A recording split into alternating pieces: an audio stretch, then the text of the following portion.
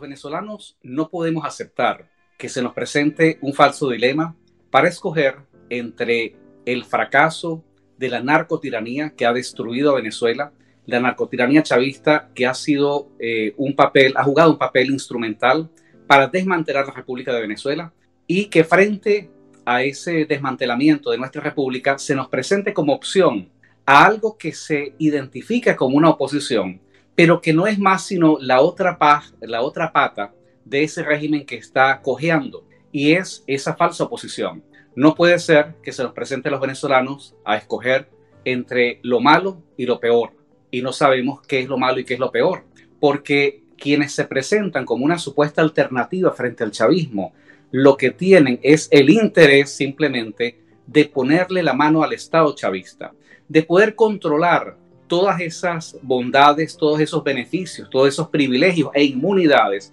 que les permitirían seguir haciendo negocios. Por eso ellos nunca y jamás van a atacar a la constitución chavista del año 99. Porque la constitución chavista del año 99,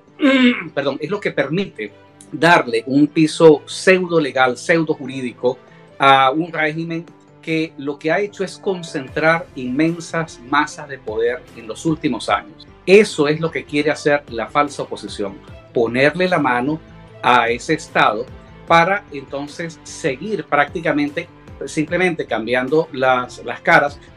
perdón, y continuar con una política. Ahora, la pregunta que nos hacemos es, ¿por qué la corrupción de la falsa oposición? ¿Por qué la corrupción que rodea al interinato amponil de Juan Guaidó tiene menos peso, menos valor a la hora de ser juzgada que la corrupción que representa el gobierno, el régimen de Nicolás Maduro? ¿Por qué nosotros tendríamos que caer en la trampa de justificar de que como supuesta y presuntamente Juan Guaidó y Leopoldo López y quien están, eh, que son los dueños de la falsa oposición, eh, si ellos eh, hacen algún esfuerzo para tratar supuestamente de sacar a Maduro, entonces,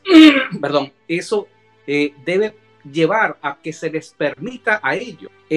seguir prácticamente en una situación donde ellos lo que quieren prácticamente es seguir robando y saqueando el Tesoro Nacional. ¿Por qué, por ejemplo, se tiene que eh, aceptar que cada vez que algún chavista connotado, que ha sido, por ejemplo, como el caso de Christopher Figuera, como el caso de la fiscal eh, Luisa Ortega Díaz, que fueron factores claves en las violaciones derechos humanos durante el régimen chavista. Y entonces una vez que ellos eh, desertan del chavismo, son recibidos con las manos abiertas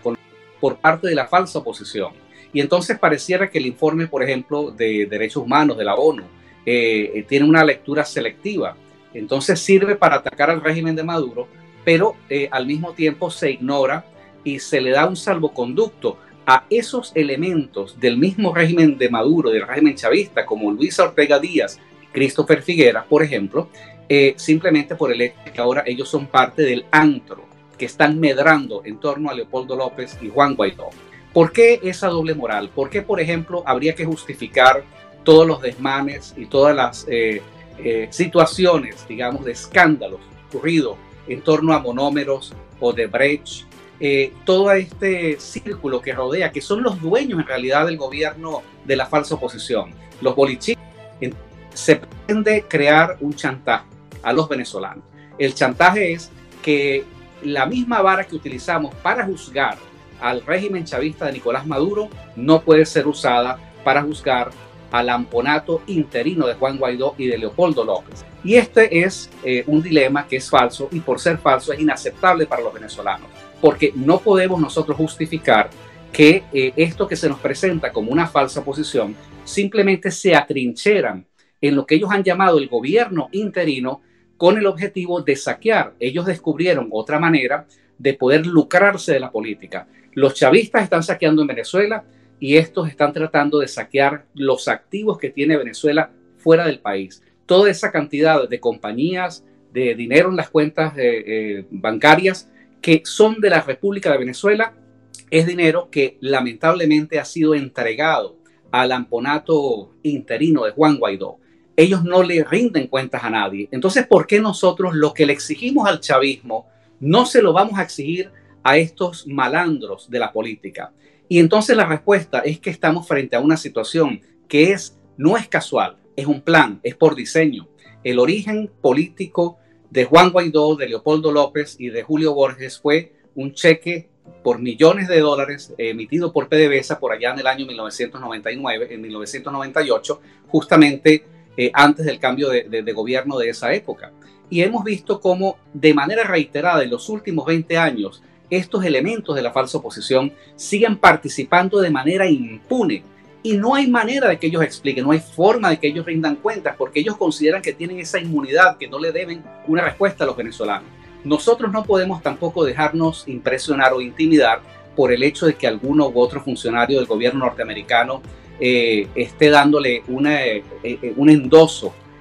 prácticamente un cheque en blanco a esta cofradía y a este antro de corrupción. Nuestro deber es explicarle a nuestros aliados que están, han decidido escoger al peor interlocutor, han decidido escoger a un gobierno que no está al gobierno y que simplemente colabora con la falsa con el, el régimen de Nicolás Maduro y que esta falsa oposición se les debe denunciar porque son los mismos que hacen gestiones ante el gobierno norteamericano para que le apliquen, para que no le apliquen sanciones a estos bolichicos y a estos contratistas y corruptos chavistas, simplemente ellos dicen porque están ayudando a la causa de Venezuela, pero todos sabemos que lo que se trata es de que ellos se han convertido en los financistas que son los dueños financieros de esa mafia conocida como el gobierno interino. Nosotros los venezolanos tenemos que emprender una lucha para derrocar por vías de fuerza desde el punto de vista político y militar al chavismo. Y para lograr eso tenemos que definitivamente romper con la falsa oposición.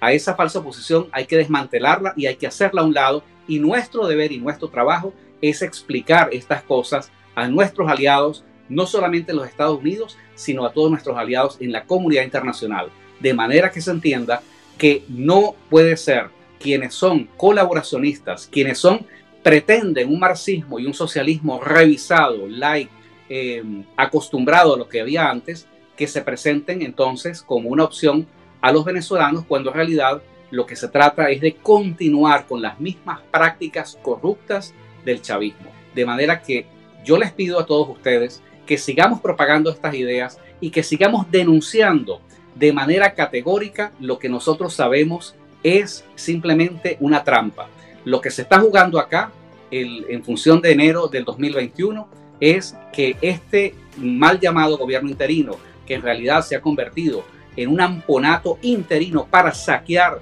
los activos de Venezuela en el exterior, ellos quieren darse eh, una legitimidad al infinito. Ellos quieren declararse gobierno de manera eterna y esto no lo podemos aceptar los venezolanos. En los próximos días, el Movimiento Repúblicos, desde nuestro portal repúblicos.org, estaremos presentando no solamente documentando estas denuncias, sino también presentando los argumentos y las tesis fundamentales para eh, explicar la necesidad de romper con ese Estado chavista que pasa también por la necesidad histórica de romper y de desmantelar a la falsa oposición que históricamente ha traicionado a la nación venezolana.